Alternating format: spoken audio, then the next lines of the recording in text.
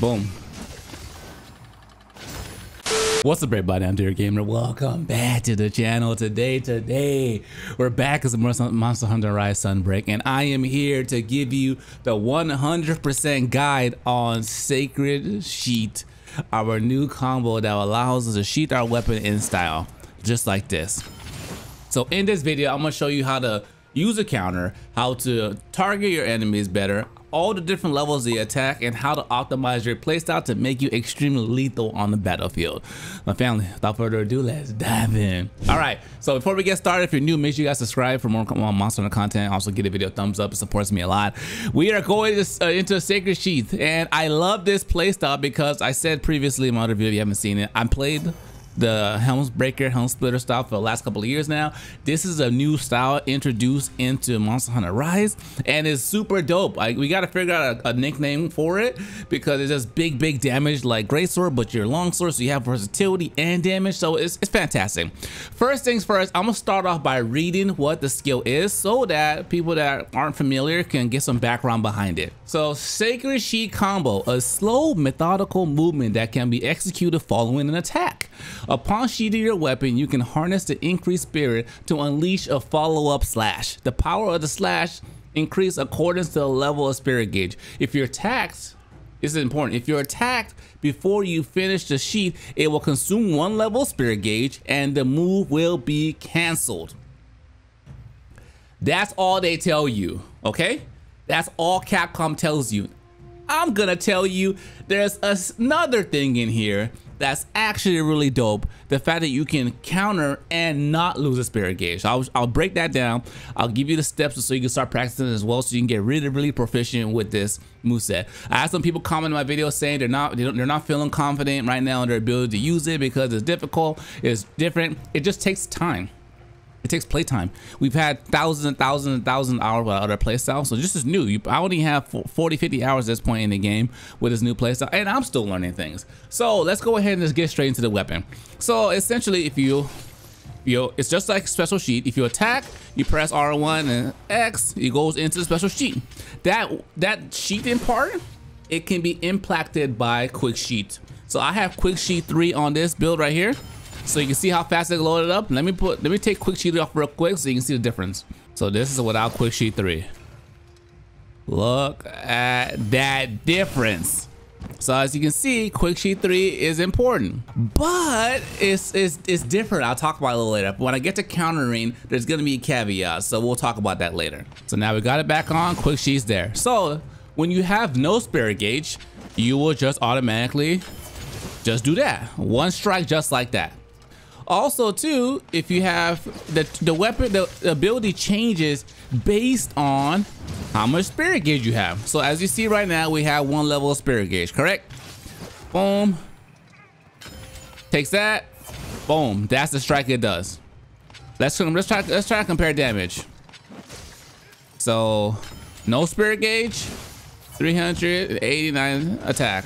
No spirit gauge, 389 attack. We'll do one more for consistency.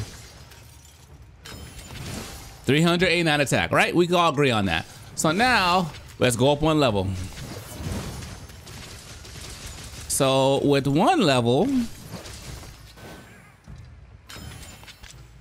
boom, 409. Again, we'll just do it twice.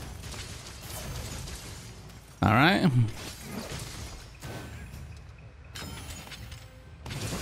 409. That's what one level of gauge. So that's what it looks like. Second level of gauge. Now. One, two, boom, boom. Two hits, right? Two hits. First hit's 409. Second hit is 1074. 1074. We'll do it again. So while I'm preparing myself, the cool thing about this ability, it, it has the ability to tank hits. Tank hit, to tank hits, what does that mean? It means that if you are hit, after you put your weapon away at this point, at this point on right here, at this point, if you attack your monster and let go like this, you will not be knocked out of your move. It has hyper armor, poise, whatever you want to call it, depending on what game genre you're coming from. So what that means is you could just tank through hits. If a monster's roaring, you let it go, you'll tank through it. A monster attacking you, you'll tank through it. And I also feel like I don't. This is not confirmed. I feel that sometimes like I've tanked through a lot of hits. I feel that it decreases the how much damage you do, and that might be a built-in effect that someone might be able to, to clear for us. But that's just what I feel like. So that's two levels of the of the gauge. S number three. Let's get up there. Level three this is the bread and butter of this skill. So initially, I thought you had to lock on in order for it to hit properly, but you do not. This skill is just like Rage Slash, meaning whichever direction you're putting upon release, whatever direction you're looking and you put your directional stick, that's the direction where the attacks gonna hit. And this was thanks to someone that commented of the videos, like, DJ, DJ, did you know? And I was like, bruh, change my world. So let's go ahead and do it. Put it. So I'm over here. One. Get my three levels. One, two, three. Boom, boom, boom. You see that damage? You get three big hits. Naturally, you want to land all of your hits. That's why it's important that you're aiming properly. But that last big hit is absolutely breathtaking and sensational. That is the bread and butter of this playstyle. Why is this playstyle cool? Because we have new abilities that are introduced that allow you to focus on building your gauge really, really quickly, which allows you to get back into this mood mode, charge up, and boom, boom, boom. Hit your big damage. So things that can impact this weapon as well. Focus. Focus can impact it. But I focus one to focus three is not that big of a difference. Maybe like half a second. So if if anything, I wouldn't you probably I wouldn't prioritize that skill set into my build. I would prioritize quick sheath if you can.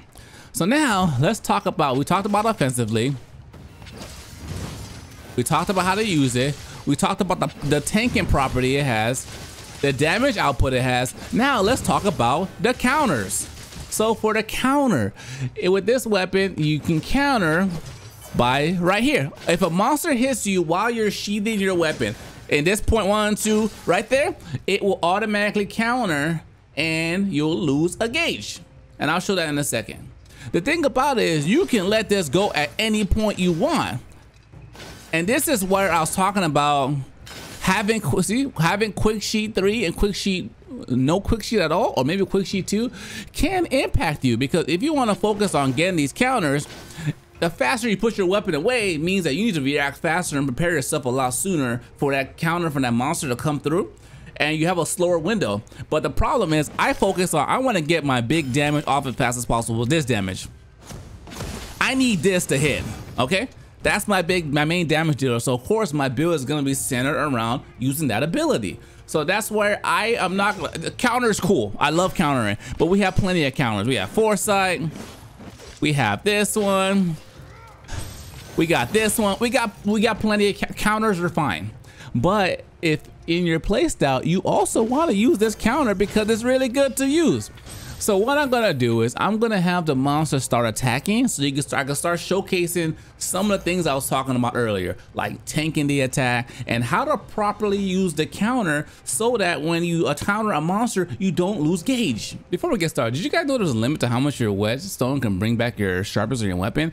I was in here doing some training and I realized it because I sharpened and load, if you notice, it only brought back that much. And I was like, oh, wow, I thought it always did 100% of the gauge, but it doesn't. If you take your weapon all the way down, you're gonna have to sharpen multiple times.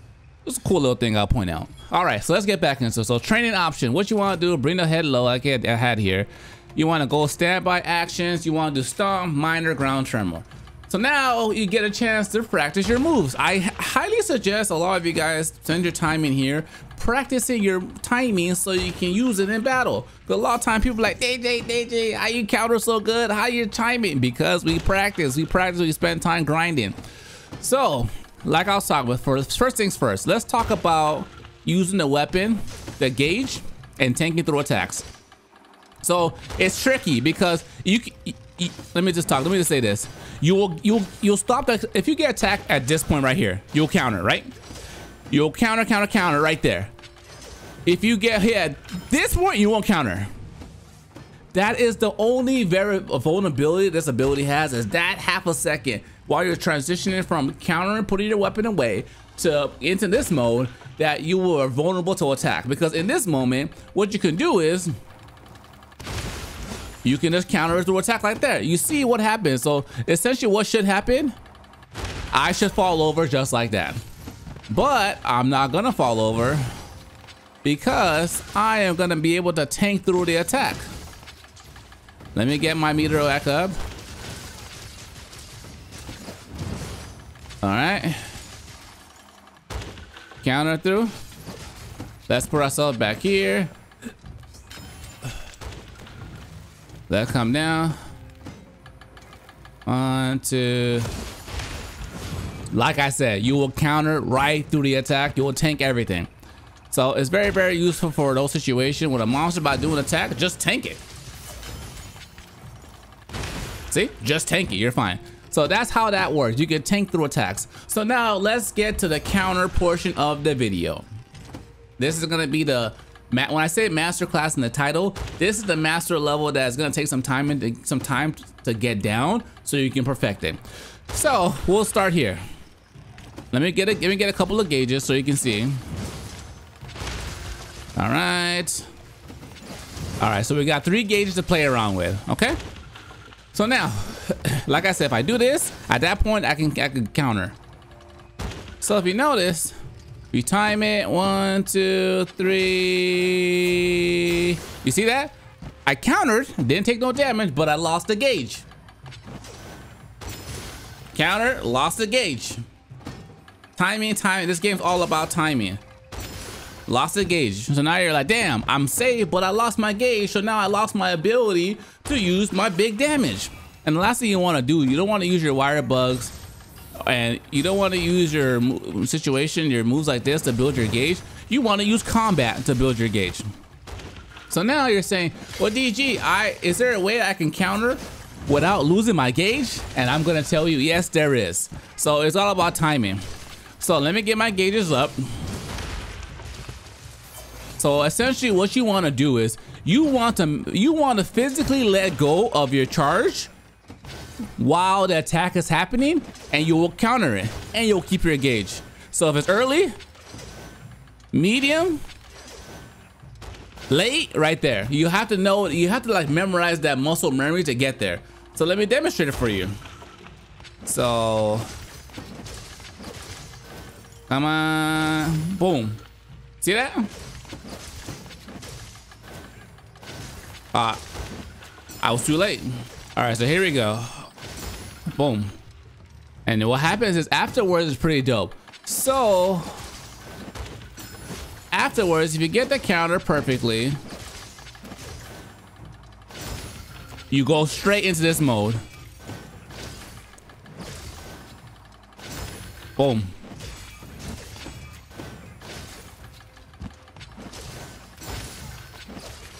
See, I let that one go super early. Oh, see, too late. It's too late. You have like a like a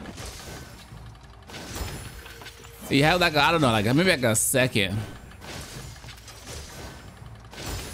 Boom.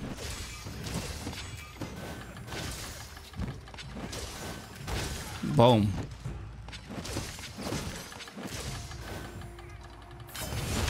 See that one was really early. That's why I said it takes some time. It takes some time to build it to get that timing down and you just got to keep on trying it. Boom.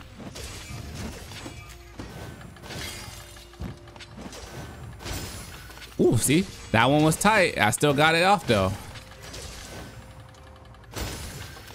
Boom. And that's where it is. That's how you counter without losing gauge. I played through the game and I was like, I, I was like, there has to be a way because I've, I've experienced in my playthrough sometimes I, I don't lose gauge, sometimes I lose gauge, but this is how you can always, every single time, not lose gauge. And it makes sense because here you're prepared. You get prepared. If you see here, it's like he's reacting. It's like, oh, damn, I missed my timing on that one. So it's intentional in order for us to work on that counter time. So that's it. That is special sheathe. That's how it works. That's how, cause this playstyle is really about being in the monster's face and not, and not having to like slow down and get out the way. It's really for an aggressive, in your face kind of playstyle, which is different. See, that one's too early. You have a good amount of time. It's kind of generous, but this takes some time to get used to it. All right. I think that's it. I think we covered everything. So just to reflect, you have three levels of attack. You can tank through your abilities. You can counter. If you miss your timing, you'll automatically counter and lose a gauge. If you get the timing correct, you will automatically, you'll counter and keep your gauge. And it'll take you to the mode where you can do your, your last mode of your spirit combo to get your next gauge. And that is special, that is Sacred Sheathe. I think comment below if I missed anything else. I think I pre pretty much covered everything of the weapon. Now it's just a matter of like playing, getting some playtime and getting out there and putting all the practice into action. There's no point of learning education without application. That's a life tip for anything you go into in life. No point in learning nothing without application. So go out there and try it out on some monsters. Comment back on this video and tell me how it was for you. If you learned something new, make sure you share it out on social media or share it with your friends that are trying to learn this weapon and learn this new kind of playstyle. Stay smooth, my family. Thanks for watching. Till next time, dear gamers, signing out.